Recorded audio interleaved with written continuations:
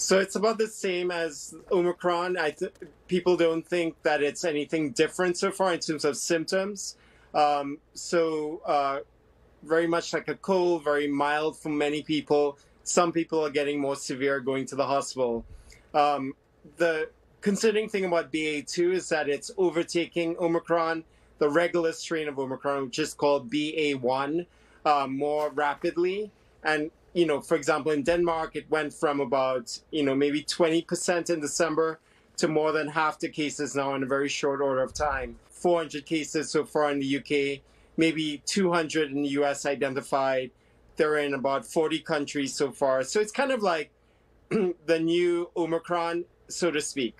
The problem with uh, BA2 uh, subvariant is that um, it's not as easily identified you still tell that it's COVID or SARS-CoV-2, but to figure out it's BA2, you have to do a, a more laborious entire genomic sequencing. So that's why people think it's more common than is meeting the eye.